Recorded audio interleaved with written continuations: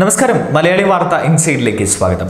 November മൂന്നിന് അമേരിക്കയിൽ president തെരഞ്ഞെടുപ്പ് നടക്കാൻ പോവുകയാണ്. ലോക ഗതിവിഗതികളെ സ്വാധീനിക്കുന്ന ഒരു പദവിയാണ് ലോകത്തിലെ ഏറ്റവും ശക്തമായ ജനാധിപത്യ സാമ്പത്തിക രാജ്യത്തിന്റെ പ്രസിഡന്റ് എന്നത്.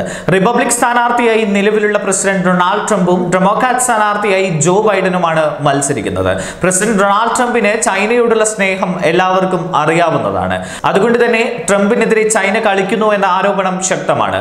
ഇത് ഡൊണാൾഡ് ട്രംപ് എതിർ സ്ഥാനാർത്ഥിക്കെതിരെ ഉപയോഗിക്കുന്നുമുണ്ട്. അതായത് താൻ ഭരണത്തിൽ വരാതിരിക്കാനും ജോ ബൈഡനെ വിജയിപ്പിക്കാനും വേണ്ടി അണിയറിയിൽ കളിക്കുകയാണ് ചൈന എന്നാണ് ട്രംപിന്റെ മുഖ്യ ആരോപണം. അതൊരുപക്ഷെ സത്യമാകാം അല്ലാതിരിക്കാം. എന്നാൽ എങ്ങനെയെങ്കിലും ഈ ട്രംപ് ഭരണകൂടം ഒന്ന് പോയി കിട്ടുവാൻ കണ്ണിൽ എണ്ണയൊഴിച്ച് കാത്തിരിക്കുകയാണ് ചൈനീസ് ഭരണകൂടം. കാരണം അത്രമാത്രം പണികളാണ് ട്രംപ് ചൈനയ്ക്ക് കൊടുക്കുന്നത്. എന്നാൽ ജോ ബൈഡൻ ട്രംപിനേക്കാൾ മെച്ചമാണെന്നും സംസാരിക്കാൻ പറ്റിയ ആൾ ആണെന്നുമായിരുന്നു അവരുടെ മുഖപത്രമായ ഗ്ലോബൽ ടൈംസ് കുറച്ച് ദിവസങ്ങൾക്ക് മുൻപ് പറഞ്ഞത്. റഷ്യ ട്രംപിന് വേണ്ടിയും ചൈന ബൈഡന് വേണ്ടിയും അണിയറയിൽ ശ്രമിക്കുന്നുണ്ട് എന്നാണ് പൊതുവെയുള്ള വിലയിരുത്തൽ. ഇപ്പോഴത്തെ Chinese president Xi Jinping vice president ആയ സമയത്ത് വൈസ് പ്രസിഡന്റ് ആയിരുന്ന വ്യക്തിയായിരുന്നു ജോ ബൈഡൻ എന്നതും അവർ തമ്മിൽ അപ്പോൾ മുതലേ പരിചയമുണ്ടായിരുന്നു എന്നതും ഈ വാദങ്ങൾക്ക് ശക്തി പകരുന്നു. എന്നാൽ പ്രസിഡന്റ് മാറിയാലും ഇല്ലെങ്കിലും അമേരിക്കയുടെ സാഹചര്യങ്ങൾ മാറില്ല എന്ന വിലയിരുത്തലുകളാണ് നിലവിൽ ലഭ്യമാകുന്നത്. ബൈഡൻ തന്നെ നടത്തിയ ഒരു പ്രസ്താവനയാണ് ഇതിന് ആധാരം. എന്റെ ഭരണകൂടം നിലവിൽ വരികയാണെങ്കിൽ ടിബറ്റിൽ നടക്കുന്ന മനുഷ്യാവകാശ ലംഘനങ്ങളുടെ ഉത്തരവാദിത്വത്തിൽ നിന്നും ഒഴിഞ്ഞു മാറുവാൻ ഞാൻ ഒരിക്കലും ചൈനയെ അനുവദിക്കുകയില്ല. ടിബറ്റൻ ജനതയ്ക്ക് ആശ്വാസമാകുന്ന തരത്തിൽ ഒരു ജനാധിപത്യ സംവിധാനം ഞങ്ങൾ നിർമ്മിച്ചെടുക്കും. ടിബറ്റൻ ജനതയ്ക്ക് അവരുടെ സ്വന്തം ഭാഷ ഉപയോഗിക്കാനും അതിലൂടെ പുറം ലോകത്തേക്ക് സംവദിക്കാനുമുള്ള സംരക്ഷണം ഞങ്ങൾ ഒരുക്കുമെന്നായിരുന്നു ബൈഡൻ ഒരിക്കൽ പറഞ്ഞത്. ഞങ്ങളുടെ ഭരണകൂടം ദലൈലാമയെ സംരക്ഷിക്കുകയും ടിബറ്റൻ പ്രശ്നങ്ങൾക്ക് മാത്രമായി ഒരു നയതന്ത്ര ഉദ്യോഗസ്ഥനെ നിയമിക്കുകയും ചെയ്യും.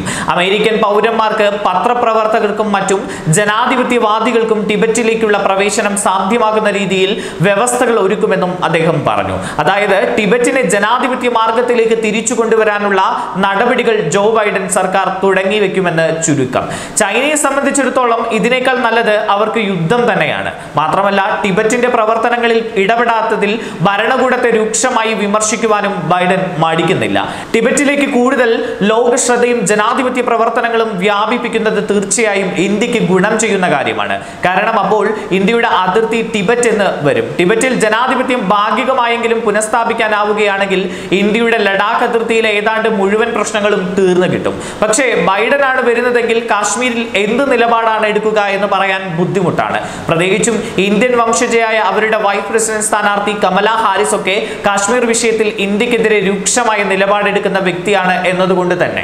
ഈ അടുത്ത് നടന്ന ഒരു സംവാദത്തിൽ ചൈനീസ് പ്രസിഡന്റ് ഷീ ജിങ് പിങ്ങിനെ തെമ്മാടി എന്നായിരുന്നു ജോ ബൈഡൻ വിശേഷിപ്പിച്ചത്. താൻ അമേരിക്കൻ വൈസ് പ്രസിഡന്റ് ആയ സമയത്ത് തന്നെ അന്നത്തെ ചൈനീസ് വൈസ് പ്രസിഡന്റ് ആയിരുന്ന ഷീ ജിങ് പിങ്ങുമായി അന്നത്തെ പ്രസിഡന്റ് ഒബാമയുടെ നിർദ്ദേശപ്രകാരം സമയം ചെലവഴിച്ചിരുന്നു. അന്ന് അദ്ദേഹത്തെ കൂടുതൽ അടുത്തറിയാൻ സാധിച്ചു. ഡെമോക്രസിയിലെ ഡി പോലും അയാളുടെ ശരീരത്തിന്റെ അടുത്തുകൂടെ പോയിട്ടില്ല എന്നും ഒരു തെമ്മാടിയാണ് ഷീ ജിങ് പിങ് അതിൽ ഒരു സംശയവുമില്ല. ചൈനയെ നേരിടേണ്ടത് നമ്മുടെ മറ്റു സഖ്യകക്ഷികളുടെ സഹായ സഹകരണത്തോടെ ആയിരിക്കണം. അല്ലാതെ എല്ലാം ഞാൻ ഒറ്റയ്ക്ക് എന്ന തരത്തിലല്ല എന്നും ജോ ബൈഡൻ ട്രംപിനെ വിമർശിച്ചുകൊണ്ട് പറഞ്ഞു. ചുരുക്കത്തിൽ ഇടത്തെ കാലിലെ മന്ത് വലത്തെ കാലിലാവുക മാത്രമാണ് അമേരിക്കയിൽ ഭരണകൂട മാറ്റത്തിലൂടെ ചൈനയ്ക്ക് ലഭിക്കാൻ പോകുന്നത്. അതായത് വിദഗ്ധരുടെ വിലയിരുത്തലുകൾ പ്രകാരം അമേരിക്കയും ചൈനയും തമ്മിലുള്ള പ്രശ്നങ്ങൾ പെട്ടെന്നൊരു ദിവസം അമേരിക്കൻ പ്രസിഡന്റ് ഡൊണാൾഡ് ട്രംപ് വന്നു ഉണ്ടാക്കിയതല്ല. എങ്കിലും വിഷയത്തെ ആളിക്കത്തിക്കുന്നതിൽ ട്രംപിന്റെ സ്വതസിദ്ധമായ ശൈലി പ്രയോജനം ചെയ്തിട്ടുണ്ട് എന്ന് പറയാം. കൂടാതെ വിഷയത്തെ കുറച്ചുകൂടി അക്രമാസക്തമായ രീതിയിൽ മുന്നോട്ട് കൊണ്ടുപോകാനും ട്രംപിന് സാധിച്ചിട്ടുണ്ട്.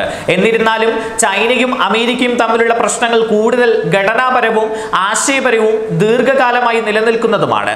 ആദർശങ്ങളിൽ രണ്ട് വ്യത്യസ്ത ധ്രുവങ്ങളിലാണ് നിൽക്കുന്നത് എങ്കിലും അമേരിക്കയിൽ ഡെമോക്രാറ്റുകളും റിപ്പബ്ലിക്കന്മാരും അടുത്ത കാലത്തൊന്നും ഇല്ലാത്ത രീതിയിൽ അവരുടെ ജനപ്രതിനിധി സഭയിൽ ഐക്യകണ്ഠയായി നിലയുറപ്പിച്ചത് ഹോങ്കോങ്ങിൽ ചൈന നടത്തിയ ജനാധിപത്യ ധ്വംസനത്തിനെതിരെയാണ്. ചുരുക്കി പറഞ്ഞാൽ സൗത്ത് ചൈന കടലിലും ഹോങ്കോങ്ങിലും തായ്വാനിലും അമേരിക്ക നടത്തിയ സൈനിക നീക്കങ്ങൾ ട്രംപ് ആയാലും മറ്റേത് അമേരിക്കൻ പ്രസിഡന്റ് ആയാലും നടക്കുമായിരുന്നു. മാറ്റം വരുന്നത് ശൈലിയിൽ മാത്രമായിരിക്കും. ഒരിക്കലും നടപടികളിലായിരിക്കില്ല. എന്നാൽ ചെകുത്താനും കടലിനും ഇടയിലാണ് ചൈന. ട്രംപ് ആണ് വരുന്നതെങ്കിൽ ഒരു ഏകാധിപതിയിൽ നിന്നുമുള്ള എതിർപ്പാണ് ചൈന നേരിടേണ്ടി വരിക.